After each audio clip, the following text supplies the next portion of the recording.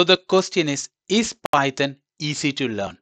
In my personal opinion, I can say it is the most simplest language I have ever seen or the most easiest language to learn even though you are a beginner, even though you don't have an experience in writing codes before.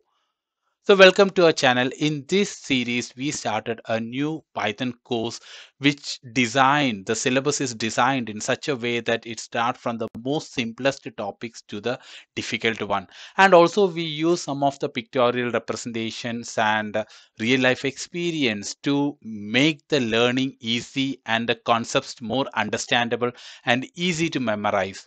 Also, we request you to tune according to the order of the video so that it will be make your learning much more easier.